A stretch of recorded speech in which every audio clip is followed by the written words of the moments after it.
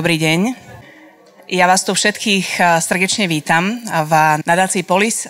Dnes ste teda prišli na besedu, diskusiu o Anne Malinovej, Jozefovi Gabčíkovi a nielen o nich, ale je to príbeh 294 statočných a odvážnych ľudí, Čechoslovákov, ktorí parašutistom v Prahe tesne, respektíve ani nie tak tesne, pretože to trvalo pol roka, pred atentátom na Hedricha pomáhali. My si dnes premietneme film, ktorý sa volá Anna Malinová Bezpečný úkryt pre Gabčíka. Anna Malinová bola Gabčíkovou spojkou, bola jeho priateľkou, bola jeho veľmi dôležitým človekom a práve vďaka nej Gabčík v tom nepriateľskom protektoráte dokázal prežiť pol roka a spolu s Janom Kubišom dokázal naplánovať atentát na zastupujúceho rížského protektora Reinharda Heydricha.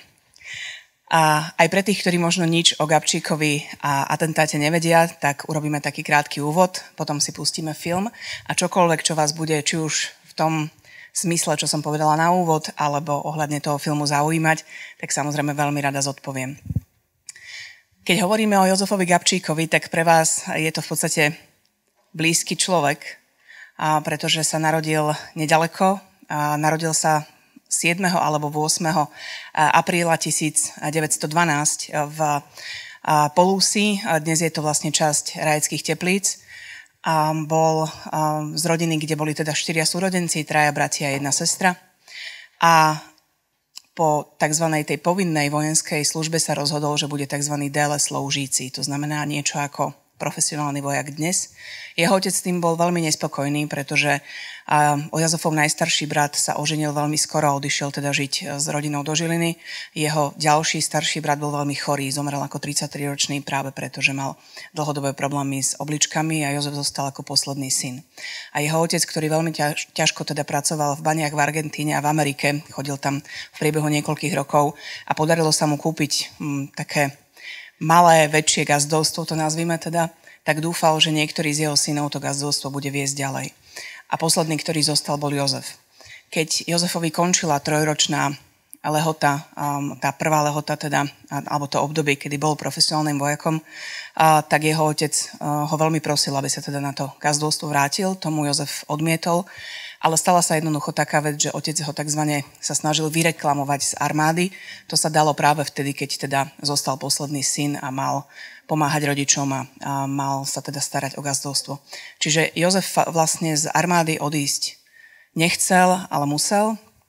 A tak sa veľmi nahneval na tých svojich rodičov, respektíve na otca, že sa vlastne domov ani nevrátil. Zamestnal sa v Žiline, v bývalej chemickej továrni Hungária a pri výrobe um, smrteľného nervovo-toxického plynu Iperit.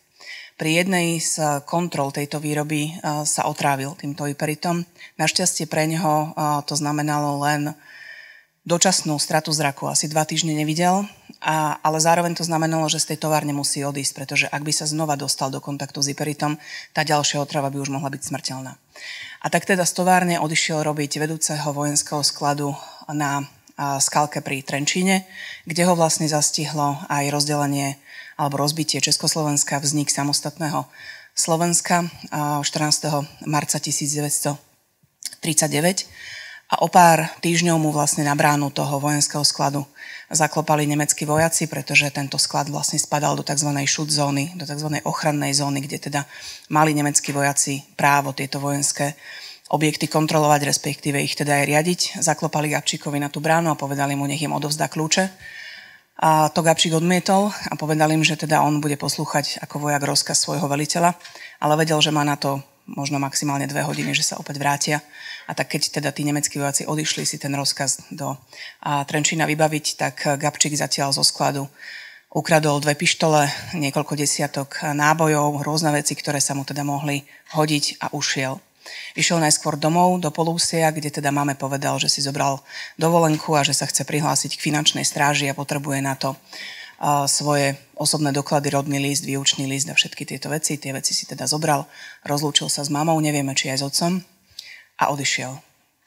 Rozhodol sa spolu s ďalším kamarátom z Polúsia odísť do Polska, kde sa blízko pri Krakove v tábore v Malých Bronoviciach formovala budúca teda československá jednotka, ale bolo to ešte stále pred vypuknutím druhej svetovej vojny, hovoríme o lete 1939. A práve preto, že ešte teda tá vojna nebola. Poliaci sa stále snažili veľmi diplomaticky a veľmi taktne jednať teda s, s nacistickým Nemeckom a nechceli, aby sa na jeho území vlastne formovala jednotka iného štátu, ktorá by mohla byť považovaná za provokáciu. A tak vlastne tie podmienky tých mladých, malých Branoviciach boli veľmi nepriaznivé. Až také, že nakoniec sa našlo riešenie v tom, že týmto čechoslovenským chlapcom alebo mladým mužom ponúklo, Polsko, ponúklo Francúzsko, že teda vy tvrdíte, že bude vojna, chcete sa vycvičiť, v Polsku to momentálne nie je dosť dobre možné, tak poďte do francúzskej cudzineckej legie, my vás nevycvičíme. A keď teda tá vojna naozaj bude, aj keď my si nemyslíme, že bude, lebo máme teda Mnichovskú dohodu a Hitler slúbil, že teda žiadna vojna nebude, keď mu to Československo po častiach teda dáme, Sudety a juh Slovenska. Ale teda keď si myslíte, tak poďte do cudzineckej legie, vycvičte sa, podpíšte záväzok a keď teda vojna bude, my vás nepustíme. A niekoľko stoviek takýchto mladých mužov to teda využilo, išlo do cudzineckej legie, do, Pols- do Francúzska, vycvičili sa. A keď tá vojna teda 1. septembra 39 začala, a tak začali teda tlačiť na tú francúzskú stranu, že teda slúbili ste nám, že keď vojna bude, pustíte nás bojovať. A nakoniec sa to podarilo v podstate v druhej polovici septembra, respektíve koncom septembra že títo vycvičení, alebo teda z časti vycvičení vojaci sa naozaj z cudzineckej legie dostali. Bojovali potom vo Francúzsku, Gabčík aj Kubiš obidvaja dostali vysoké vojenské vyznamenanie vlastne za odvahu a chrabrosť v boji a jednou z posledných lodí sa potom z Francúzska, už teda okupovaného Nemeckom, dostali do Veľkej Británie. Tam sa obidvaja hlásili k letectvu, nevzali ich, pretože mali dosť iných vojakov, ktorí mali aspoň nejaké letecké skúsenosti, ale teda Gabčíka vybrali do prvého kurzu tzv. špeciálnych operácií, čiže ako výsadkára. Preto aj tu máte teda 5. pluk s čestným názvom pluk Jozefa Gabčíka. A, a v tej Veľkej Británii, keď absolvovali teda tieto a, kurzy pre parašutistov a pre špeciálne úlohy vo vlasti, a, tak sa začala formovať teda tá myšlienka a, odplaty za to, čo sa dialo v protektoráte potom, ako sa zastupujúcim rížským protektorom stal Reinhard Heydrich. To bolo koncom septembra 1941 a on jednak hneď vyhlásil teda stanné právo, dal popraviť niekoľkých e, generálov a dôstojníkov z Československej bývalej teda armády, ktorí boli vo vezení od 39. a, a teda dovtedy ich len väznili. A hlavne urobil takú vec, že dal zatknúť asi 1600 členov um, telovýchovnej jednoty Sokol. Ono sa to síce volá telovýchovná jednota, ale bol to spolok, ktorý tých ľudí združoval nielen na základe toho, že spolu chodili trikrát týždenne cvičiť.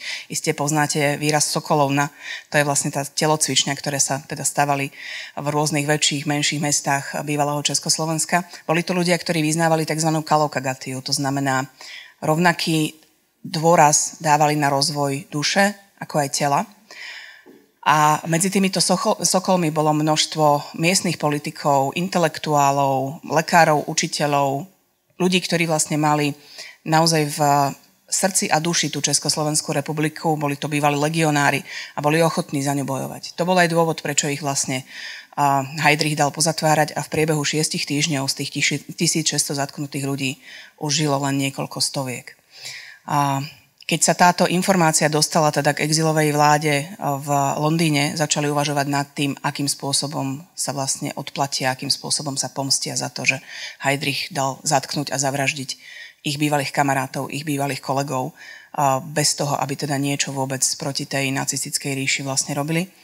A vyvstala tá otázka poslať teda výsadok naspäť, do protektorátu z Británie a tento výsadok mali tvoriť teda Jozef Gabčík a najprv Karel Svoboda, ale Karel Svoboda sa pri posledných nočných zoskokoch, kedy teda ešte trénovali pred odchodom do vlasti, veľmi ťažko zranil a nebolo možné, aby teda s Gabčíkom odišiel a vtedy Gabčík navrhol svojho dobrého kamaráta, ktorého vlastne poznal už z Malých Bronovíc, Jana Kubiša. Zoskočili do protektorátu v noci z 28. na 29. decembra 1941 čiže pol roka pred atentátom. Atentát sa stal 27. mája 1942. A ten pol rok, ktorý dokázali na tom nepriateľskom území prežiť, je vlastne aj šikovnosťou ich samých, ale najmä statočnosťou a odhodlaním tých 294 Čechoslovákov, ktorí im pomáhali v tom, aby na tom protektoráte vôbec prežili. Áno, prišla ďalšia škola Čiže spomínala som, že zoskočili do protektorátu v noci z 28. na 29. decembra 41. Potrebovali úkryty. Zoskočili, teda boli navigovaní zle, mali zoskočiť pri Plzni, bohužiaľ chybou navigácia, tým, že tá navigácia vtedy nebola až taká presná, aj tým, že teda bola zatiahnutá obloha, zoskočili nedaleko Prahy pri Nehvizdoch a, a tak sa teda museli nejakým spôsobom dostať opäť do Plzne. A stala sa ešte aj taká vec, že Gabčík si pri zoskoku silne poranil a narazil nohu, členok aj palec na nohe, čiže nebol a, veľmi pohyblivý a tak do Plzne vlastne odišiel len Jan Kubiš, potom sa vrátil a nakoniec a, na Silvester 1941 už obidvaja parašutisti sú teda v Prahe, kde dostali prvé možnosti úkrytu, prvé možnosti ubytovania. Takým hlavným človekom, hlavným organizátorom tejto pomoci bol učiteľ, volal sa Jan Zelenka, mal také také krycie meno Hajsky. A keď e, hovoríme teda o období začiatku roka 42, tak e, teda protektorát Čechia Morava a samostatné Slovensko, ten rozdiel bol hlavný aj v tom, že kým teda slovenskí chlapci a muži rukovali do armády, ktorá bojovala po boku nacistického Nemecka, českí muži a mladí chlapci nerukovali, ale boli tzv. totálne pracovne nasadení. A to bol aj veľký problém, čo sa týka toho, že keď parašutisti teda žili v Prahe a chceli sa niekam presúvať po uliciach, ak ste boli mladý muž v tom období, tak vás určite na tej ulici niekoľkokrát legitimovali a spýtali sa, pozreli si teda vaše doklady a v tých dokladoch ste mali napísané, kde pracujete, v akej zmene pracujete a či teda v tom období môžete byť vôbec na ulici, či by ste nemali byť v práci. A všetky tieto doklady, ktoré ste na to potrebovali, vám musel vydať samozrejme nejaký policajný orgán alebo okresný úrad. Ale to ste dostali na základe toho, že ste boli tzv. policajne prihlásení. Čo vy ako zahraničný padákový agent, ako sa teda vtedy volali výsadkár, nemáte šancu získať. Čiže už len získať takúto legitimáciu bol veľký problém a práve medzi tými 294 ľuďmi boli ľudia, ktorí pracovali na takýchto úradoch a zobrali na seba to riziko a takúto legitimáciu tým parašutistom vydali. Mali na nich uh, falošné mená. Jan si vybral meno Oto Strnat a Gabčík preukázal opäť takú svoju nazvime to beťarskú povahu a vybral si krycie meno Zdenek Vyskočil, lebo on naozaj vyskočil. A okrem toho, že teda potrebovali tieto doklady, bolo veľmi ťažké v protektoráte živiť niekoho iného, kto nepatril do vašej rodiny. Pretože v 42. tam už fungoval tzv. lístkový systém. Na to, aby ste tie lístky mohli získať a na ten lístok si mohli ísť kúpiť nejaké potraviny, úplne základné, to znamená chleba, mlieko, vajíčka, a ten teda systém bol urobený tak, že tá, to množstvo, ktoré si chcete kúpiť, bolo na tom lístku vyznačené. To znamená, že vy keď ste za rodinu tam mali vyznačené, že tento týždeň si môžete kúpiť kilo chleba, tak ste si nemohli kúpiť 2 kg chleba. Mohli ste si kúpiť len toľko, koľko ste na tom lístku mali vyznačené. Čiže ak ste chceli živiť niekoho cudzieho, kto k vám nepatril, znamenalo to, a teda nebol u vás e, policajne prihlásený, znamenalo to, že ste sa naozaj museli podeliť o to málo, čo máte reálne doma. Nemohli ste kúpiť nič navyše, respektíve mohli na čiernom trhu, ale bolo to veľmi drahé a hlavne e, celý čierny trh bol kontrolovaný konfidentami gestapa a tí ľudia hlásili, že teda kto nakupuje na čiernom trhu, čo nakupuje, a ako dlho to trvá a podobné, čiže ste na seba upozornili gestapo. My si teraz teda pustíme ten film Anna Malinová a Jozef Gabčík. Ešte na začiatok by som vám teda chcela povedať, že odkaz Jozefa Gabčíka nie je v tých 15 sekundách atentátu. To nie je o tom, že on sa naozaj teda postavil na tej ulici, počkal si na ten Mercedes a keď bol Heidrich vzdialený asi meter, meter a pol, tak sa pokúsil na ňo zautočiť so Stenganom. Odkaz Jozefa Gabčíka a Jana Kubiša a celého toho atentátu, ktorý sa v podstate podaril, pretože Heidrich na následky atentátu zomrel, je presne v tých príbehoch 294 statočných obyčajných ľudí, bez ktorých by ten atentát nemohol prebehnúť, pretože tí vojaci, tí vycvičení parašutisti by nemali šancu ho naplánovať a vykonať. My si teraz teda pustíme film o hlavnej spojke, alebo teda dôležitej spojke Jozefa Gabčíka, jeho priateľke a keď budete mať akékoľvek otázky aj k tým ďalším 293 Čechoslovákom, medzi ktorými bola napríklad aj jedna Slovenka, a tak po filme vám samozrejme veľmi rada čokoľvek zodpoviem. Zatiaľ ďakujem. Proč zrovna já, že jo, musím, musím takhle hrozně na ní vzpomínat. Moje Maminka se jmenovala Anna Malinová a za pomoc parašutistům v odboji byla popravená. Já považuji Anu Malinovou za ženu, která měla velký význam pro splnění úkolů paraskupiny Andropoid. Anna Malinová eh, je velice pozoruhodná žena, byla velice eh, důležitou spojkou už proto, aby se mohli eh, Kubiš s Gabčíkem a i další volně pohybovat po Praze.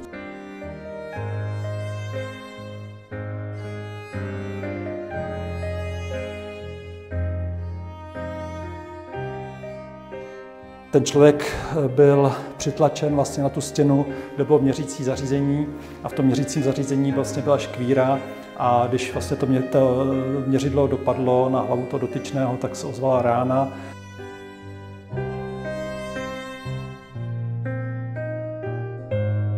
Pořád jsem cítila, nebo eh, že, že není něco v pořádku, že musím vědět, o co, o co šlo. Že jo. Teď mi byly tři roky. Tak ak máte teraz niekto nejakú otázku, či už teda ešte možno k tomu úvodu, alebo k tomu, čo predchádzalo atentátu, alebo a, vám nebolo možno niečo jasné z toho filmu, chceli by ste vedieť viac o Mauthausene, Terezíne, o čomkoľvek, čo ste vlastne teraz videli, tak máte možnosť sa opýtať.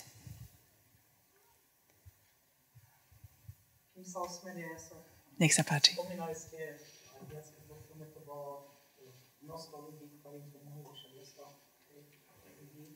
Spomínali ste, že tam bola aj Slovenka. A bola to Slovenka, volala sa Alžbeta Šenoldová Šimčisková. A ona bola manželkou človeka, ktorý sem, um, keď vznikla teda prvá Československá republika, a bol poslaný z Čiech, konkrétne z Prahy. A bol to totiž to, dnes by sme mu asi povedali, manažér na železnici. A, a ako železničiar teda pomáhal budovať tú železničnú sieť, respektíve teda rozvíjať ju. A potom v 38. keď začalo platiť to heslo Češi peši do Prahy, a keď teda Slovenská republika vyhnala všetkých tých českých intelektuálov, ktorí tu od toho 1918. učili, zakladali spoločnosti, naozaj viedli tieto, tieto spoločnosti, vybudovali si tu život, tak sa teda museli vrátiť do protektorátu, tak práve oni bola, boli teda jednou z tých rodín, ktorí museli do protektorátu ísť naspäť. Mali šťastie, že sa im podarilo usadiť sa opäť v Prahe. Ono to nebolo také jednoduché, pretože v 38. keď vlastne Československo prišlo o Sudety, tak práve z toho územia Sudet do Prahy, alebo celkovo teda do stredu Čiech, ale hlavne do Prahy prišli tisíce, desať tisíce utečencov z tých sudet. Ale teda tejto rodine sa to podarilo. V 39. sa vrátili do Prahy a v podstate veľmi plynulo sa zapojili nejakým spôsobom do odboja, ale takým zvláštnym, respektíve ten spôsob, akým sa pani Šenoldová Šimčisková do toho zapojila, súvisel s tým, že jej si navštevoval gymnázium, kde pracoval a vyučoval teda jeden učiteľ. Bohužiaľ, odboj ho vnímal ako veľmi dôležitého odbojára, veľmi statočného, veľmi odvážneho, niekoľkokrát bol zatknutý gestapom, nikdy mu nič nedokázali, prepustili ho. Bohužiaľ, tento človek bol konfident gestapa. Evidentne pri jednom z tých zatknutí sa jednoducho stalo, že prešiel ako keby na tú druhú stranu a, on bol ten, ktorý sa snažil atentát zastaviť. Volal sa Oldřich Vanek. snažil sa poslať depešu do Londýna, že teda nie je dobré, aby atentát vôbec prebehol. A potom, keď sa ten atentát uskutočnil, tak Vanek v podstate pravdepodobne postupne zradil rôznych ľudí. Jednou z nich teda bola pani Šimčisková. On u nich dokonca býval v tom období a prišiel domov a povedali jej Šárika, Eržika, pardon, Eržika, musíme niekam teda ísť pod so mnou. Um, zobrali ju na zastávku električky, tam nastúpili do električky, ako sa pohynala, on z nej vyskočil. A ona rozmýšľala, čo sa teda deje a keď sa priviezla na tú ďalšiu zastávku, tam už čakalo gestapo. A bola to tak odvážna žena, že ešte keď bola zatknutá, tak sa jej podarilo, teda riskovala naozaj veľmi veľa. A urobila v, vo vezení motáky z vlastného oblečenia, si teda otrhla časť a, napísala na to, že teda neverte tomuto človeku, je to, je to teda konfident gestapo. Nech sa páči. Čo vás priviedlo k tejto téme Ja som mala veľké šťastie. Vyrastala som v rodine, kde bol prítomný môj prastarý otec. On bol ročník 1905. A, a papa bol dedinský učiteľ zomrel až na Vianoce v roku 1999, kedy ja už som mala 19 rokov, takže sme mali relatívne dosť, aj keď dnes viem, že veľmi málo času na to, aby sme sa rozprávali. A on prežil vlastne celé to turbulentné 20. storočie, čiže rozpad Rakúsko-Horskej monarchie, vznik Československa, krásne medzivojnové roky, a druhú svetovú vojnu, 48., 68., 89. A tým, že bol učiteľ, tak pre ňo bolo vždy dôležité mi hovoriť o tom, že to najdôležitejšie, čo sa môžem naučiť, sú vlastne ľudské príbehy, pretože z nich sa učíme, tie sú pre nás zaujímavé, tým dokážeme porozumieť, dokážeme sa do nich vcítiť. A on bol ten, ktorý mi rozprával o Gabčíkovi a Kubišovi aj v čase, keď sa o nich neučilo. Ja som nastúpila na gymnáziu v 94. Áno, a napriek tomu, že to bolo už 5 rokov po revolúcii, tak sme mali o Gabčíkovi v učebnici jednu vetu. Áno, ten, ten postoj bohužiaľ sa voči Gabčíkovi mení len veľmi málo a ešte stále o ňom vieme veľmi málo a nedokážeme si ho vážiť tak, ako si ho napríklad vážia Briti alebo ako si ho vážia Česi. A ja chodím na besedy aj s britským veľvyslancom práve s tým prvým filmom Atentát na Heidricha.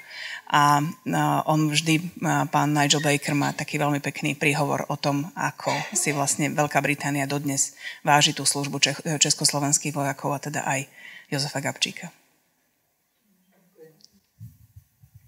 Ja by som sa chcela spýtať, že či e, tento film je niekde možné znova vidieť, lebo určite sme nemohli prísť so všetkými žiakmi. Rada by som ho pozrela znova. Myslím, že momentálne nie, ale ak dobre viem, tak po lete by mal byť e, dostupný vlastne na našej platforme. Joj Play sa to teraz myslím volá. Nie, za čo. Všetky tie dokumenty sú tam prístupné.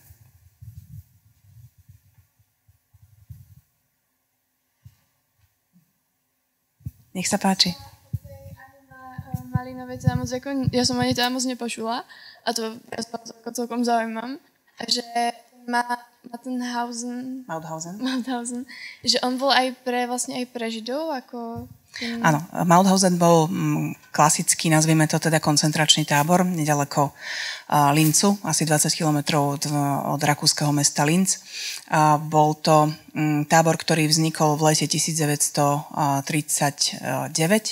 V auguste 1939 bol spustený do prevádzky. Ak by ste išli teda na prehliadku pamätníka v Maudhausene, tak vás zaujíma, že tá stavba vyzerá ako stredoveký hrad.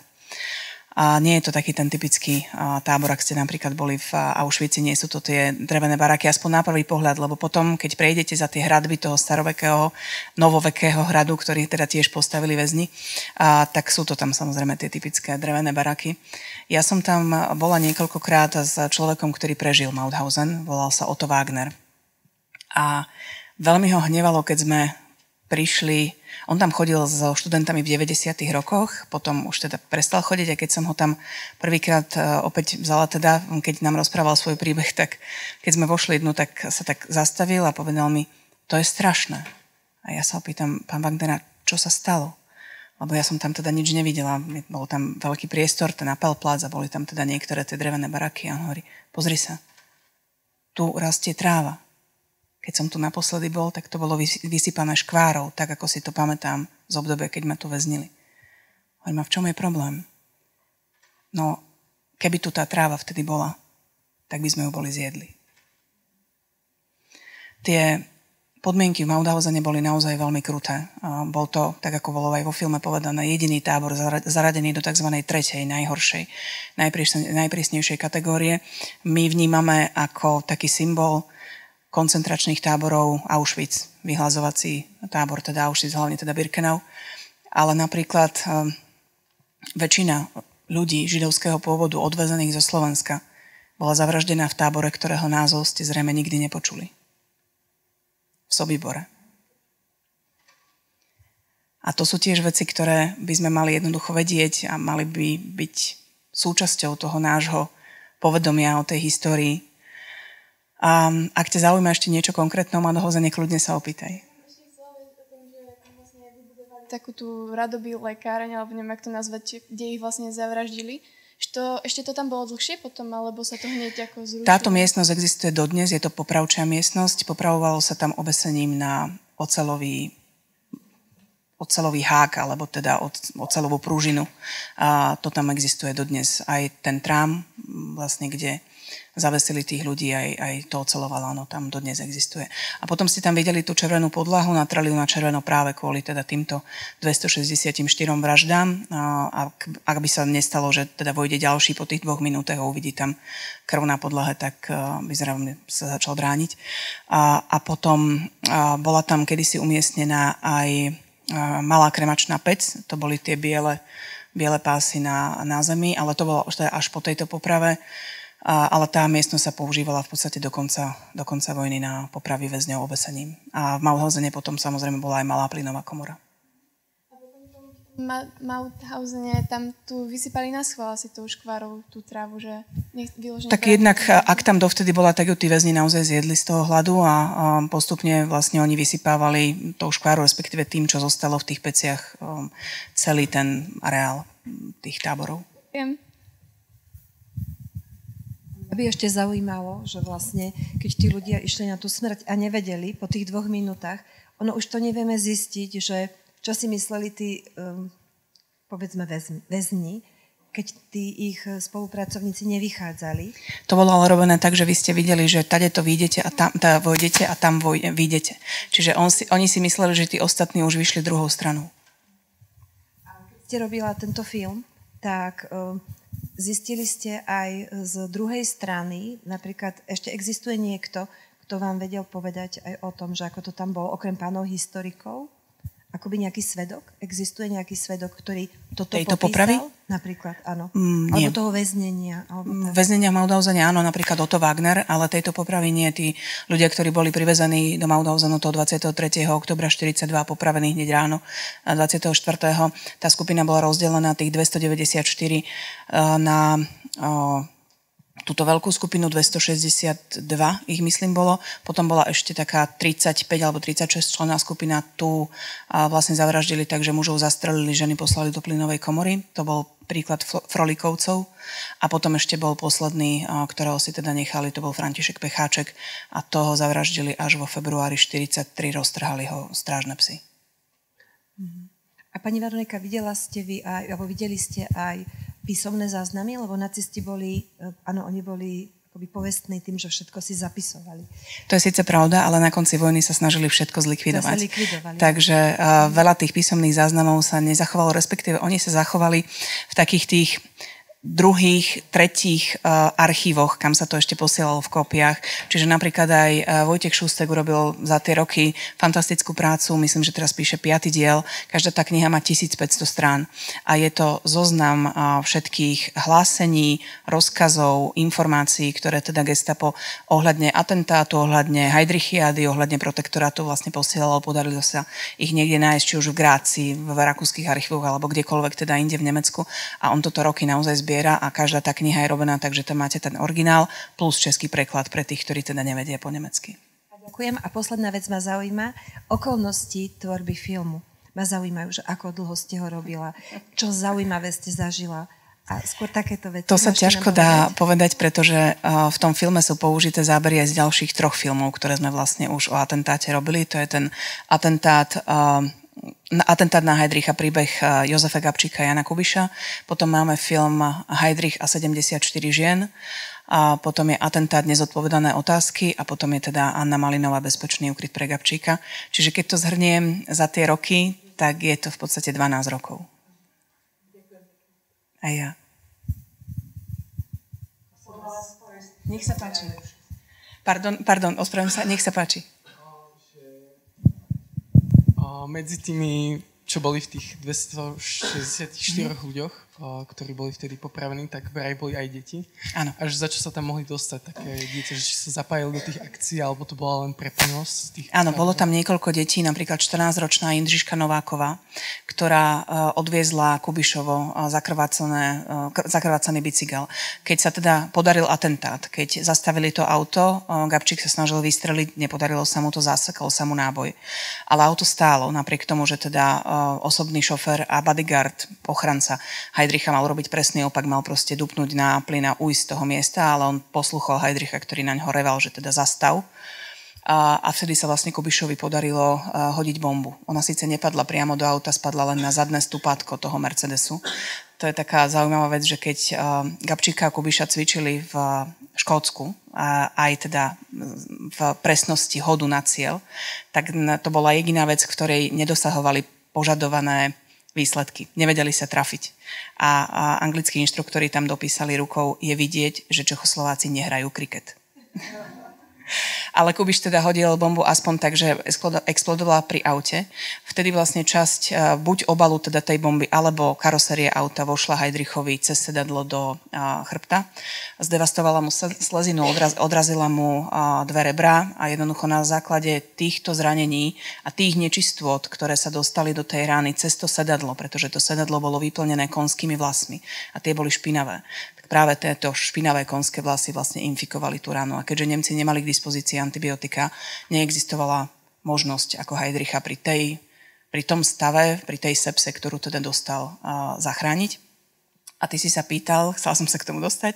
Že tí deti, za čo sa tam deti. dostali? Keď, keď sa teda toto stalo, tento atentát, Gabčík ušiel pešo, prenasledoval ho um, Heidrichov šofér, Kubišovi sa podarilo sadnúť na bicykel, ale ako vybuchla tá bomba, tak časť vlastne jedného toho odrazeného, alebo teda toho vybuchnutého plechu mu rozrazila oko, respektíve obočie a strašne krvácal. A kým prišiel do mesta, tak vlastne celý bicykel, ako mu to tieklo, tak bol celý zakrvavaný. Od, e, odstavil ten bicykel v takej ulici, e, kde mal štyri možnosti odchodu, práve preto, aby si nikto nezapamätal, kam vlastne odišiel. A prišiel k tej rodine Novákových, ktorá ich teda aj predtým skrývala a poprosil tú pani Novákovu, aby poslala niekoho pre ten bicykel. A práve vtedy zo školy prišla jej 14-ročná dcéra, ktorú tam teda poslala. Problém bol, že toho zakrvácaného mladého muža si všimli také klevetné ženy, ktoré tam teda stáli a keď to dievčatko prišlo to ten bicykel, tak sa jej pýtali, že a je otecko v poriadku, respektíve kto to bol, kto doniesol ten bicykel? A zapamätali si ju. Ale našťastie si ju zapamätali tak, že ju nevedeli gestavu poriadne opísať. Gestapo urobilo veľkú akciu, kedy vlastne všetky dievčatá z toho okolia pozvalo do takého kultúrneho domu, museli sa tam prejsť bicyklom. Našťastie nikto teda Jindřišku nespoznal a ona bola tak statočná, že na sebe nedala ako keby nič poznať, respektíve neodlišovala sa správaním od ostatných dievčat, ktoré vedeli, že sú nevinné. Ona vedela, že teda hľadajú ju. To bola jedna. A potom tam bol napríklad 13-ročný Miroslav Svierák, syn rodiny Svierákovcov, ktorá teda tiež ukrývala Gabčíka Kubiša, 14-ročný syn rodiny Svatošovej, kam Gabčík dobehol po atentáte, u nich sa vlastne umýval, u nich sa upokojil, u nich povedal tú známu vetu, ktorú gestapo teda potom citovalo, že keď sa teda umýval, vybral si tú pištol z recka a hovoril, že zatracený krám človek sa s tým ťahá, když to potrebuje, tak to pak nefunguje. Tých detí bolo, myslím, 5 celkovo a ono to súviselo s tým, že ak ste boli ako rodina zatknutá pražským gestapom, bol rozdiel v tom, ak ste boli ako rodina zatknutá brnenským gestapom. Pri zatknutí brnenským gestapom sa presne stávalo, že tie deti boli poslané do týchto internačných táborov, či už teda generálka Svatobožice a tak ďalej. Pri pražskom gestape tí úradníci na toto nebrali nejaký ohľad, hlavne ak išlo už o tínedžerov a teda odsudili na smrť celú rodinu aj, aj s deťmi. Práve na základe toho hesla, ak nechceš, aby sa ti pomstili, musíš likvidovať všetkých. A ešte by ma zaujímala jedna vec, že ako to, že pri tom samotnom atentáte ako keby prežil ten Gubiš a ten uh, jeho Heidrich. spoločník. Uh, Heidrich alebo Kubiš a Gabčík? Uh, ten Kubiš a Gabčík, že aj v podstate ako odišli vôbec z toho miesta, že či nemali nejaké ochranky? Tí... Chápem. A Heidrich mal iba tú jednu ochranku, teda toho svojho osobného šoféra. On bol presvedčený o tom, že uh, Češi mu nemajú prečo ublížiť, preto aj chodil v Mercedese, ktorý bol ako otvorený kabriolet, čiže nebol v tom aute, v ktorom mal byť podľa tých bezpečnostných stratégií alebo kritérií, ktoré teda sa inde dodržiavali. Takže on bol presvedčený, že Češi mu nemajú prečo ublížiť, lebo mal pocit, že podstate bežní ľudia, ktorí nerobia nič proti nacizmu, s ním musia byť spokojní. On robotníkom dal dva týždne, alebo týždeň, nepamätám si presne, dovolenky, posielali ich do kúpelov, ak teda pracovali zodpovedne pre ten zbrojársky priemysel, ak dosahovali veľké výsledky. Dokonca im zvýšil o 20%, myslím, príjem tuku. Čiže um, rodiny mužov, ktorí pracovali v zbrojnom priemysle a pracovali povedzme na 105-110%, že teda splnili tú svoju normu viac, ako sa od nich čakalo, tak dostávali lepšie jedlo alebo teda viac jedla. Takže Heidrich mal pocit, že prečo by ho teda niekto chcel nejakým spôsobom zlikvidovať a vôbec nebral do úvahy to, čo urobil, keď teda prišiel na ten post, že dal zavraždiť tých generálov, tých dôstojníkov, pozatýkať tých sokolov podstate ten uh, Heinrich, že aká bola tá jeho funkcia, čiže si vybrali práve jeho na ten... Uh, on bol jednak šéfom RSHA, čiže ríšského um, aparátu bezpečnosti, ale uh, tu to súviselo s tým, že on bol zastupujúci ríšský protektor. To znamená, ako prezident alebo premiér, na to dnes nemáme teda taký, a, takú funkciu práve v tom protektoráte Čechy a Morava. Toho pôvodného, ktorý tam dovtedy slúžil, bol to tzv. slobodný pán Konstantin von Neurath, toho Hitler odvolal, pretože sa mu zdalo, že je príliš mekký na Čechov a že im dovoluje, alebo respektíve, že sa viac zaujíma o české herečky ako zbrojný priemysel. A, a množili sa také tie nazvime to, že jednoduché, aj keď každá tá sabotáž bola, bola veľmi nebezpečná a vyžadovala si veľkú osobnú odvahu, ale to znamená, že ja neviem, nasypali menej výbušnej zmesi a teda tie granáty alebo tie gulky neboli proste dostatočne, tam nebolo toho púšneho prachu, alebo nasypali piesok do ložísk a tie ložiska sa proste zadrhli. Čiže takéto veci sa naozaj počas tej zbrojnej výroby v Čechách diali a nacistov to samozrejme poškodzovalo na fronte. On akoby nastúpil ako premiér nemáme na to dnes funkciu. On nastúpil ako uh, protektor, ochranca doslova, uh, čiže niekto, kto vedie tú krajinu a chráni ju, ale zároveň teda robil všetko preto, aby, zlikvidoval tú českú inteligenciu, lebo to bol základný postup nacistov uh, voči iným národom, ktoré si chceli podrobiť, zlikvidovať vlastne tú inteligenciu, pretože to sú ľudia, ktorí sú schopní, ochotní a odhodlaní ten odboj vlastne vykonávať.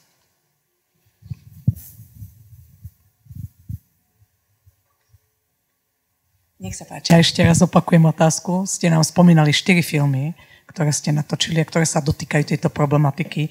Ktorý film je pre vás tou srdcovou záležitosťou? Prvá otázka. A druhá, ktorý vám spôsobil vrázky alebo najväčšie starosti?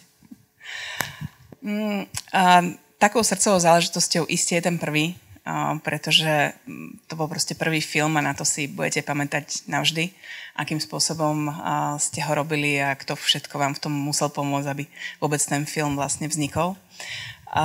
Svojím spôsobom je veľmi obľúbený aj tento, práve kvôli tomu, že ukazuje nielen tých vycvičených vojakov, ale tých obyčajných ľudí, ktorí naozaj tú odvahu a statočnosť museli preukázať do tej miery, že viete, každý vždy dúfa, že prežije Keby ste nedúfali, tak nemôžete do toho odboja ísť. Ale zároveň niekde tam vzadu viete, že to nemusí dopadnúť dobre. A pustiť sa do niečoho takého to nie je o tom, že viete, občas sa vyskytne, že niekto povie, na čo to robili. Mali počkať. Ono by sa to bolo asi nejako vyvinulo.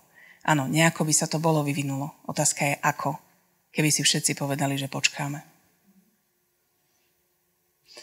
A čo sa týka vrások na čele, No ten mi robí mm, teraz film, ktorý robíme ako nový, pretože sme zistili, že veci, ktoré mali byť v archíve, v archíve nie sú.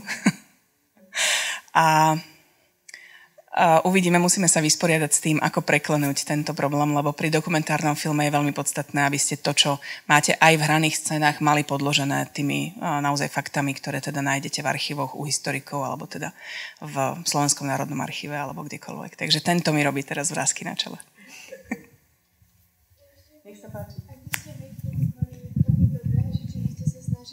Nejako proti tomu bojovať, alebo sa zapojíte že nejakej takej organizácie, alebo by ste boli práve ten typ človeka, čo by sa nejak prispôsobil tým, tomu systému a žil tak ako... Úprimná odpovede neviem. Neviem.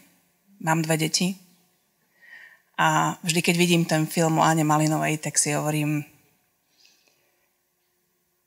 ako ťažko sa musela rozhodovať medzi bezpečnosťou Alenky tým, ako ju milovala, tým, keď vedela, že je jej jediný rodič. A tým, ako milovala Československo. A zároveň chcela, aby tá jej milovaná Lenka vyrástla v slobodnom Československu.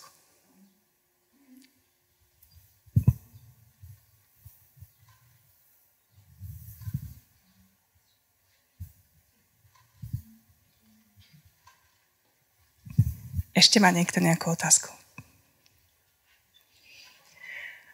Ak nie, tak ja si to dovolím uh, ukončiť.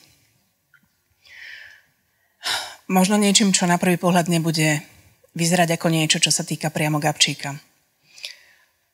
A keď sme tu pred rokom boli na besede, kde bol teda prítomný pán Čvančara, Maťo Poš a pán, a myslím, že bol pán Janík, tak tu medzi vami sedel človek, ktorý založil memoriál Jozefa Gabčíka, ktorý sa vždy beží koncom mája a beží sa teda od rodného domu Jozefa Gabčíka k Pluku v Žiline. A neuveriteľná symbolika toho behu je práve v tom, kto ten beh založil. Pán Hanák je totiž to obeď holokaustu. On sa so svojím bratom ukrýval v sirotinci, katolíckom sirotinci, kde ho teda sa snažili ukrývať radové sestry, ale bohužiaľ prišlo sa na to, že ich rodičia boli kedysi Židia. Chlapci boli vychovávaní v katolickom duchu, dokonca obidvaja ministrovali. Ale tým, že rodičia boli kedysi Židia, tak podľa tých norimberských zákonov, ktoré dokonca tie slovenské boli ešte prísnejšie ako tie nemecké, boli považovaní za Židov. A to, že tento človek vlastne urobil takúto pamiatku na Gabčíka je naozaj veľmi silný odkaz. A ja si dovolím to uzavrieť príbehom, ktorý sa teda tiež týka holokaustu. Existuje príbeh katolického kňaza, ktorý vystúpil z cirkvi a chcel podporovať NSDAP, pretože veril tomu, že Nemci naozaj majú na to, aby vybudovali lepší svet pre niekoho, samozrejme iba, a že majú nárok na životný priestor a že keď teda budú Nemci viesť tú Európu, tak to bude celé skvelé pre všetkých, teda okrem Židov až dovtedy, kým nezistil, čo to vlastne znamená, to konečné riešenie židovskej otázky.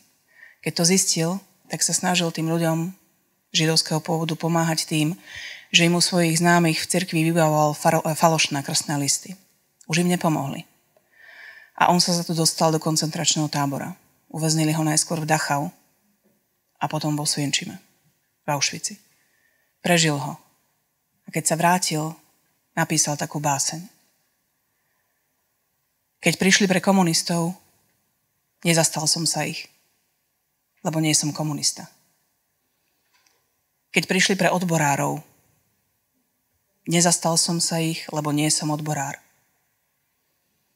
Keď prišli pre Židov, nezastal som sa ich, lebo nie som Žid.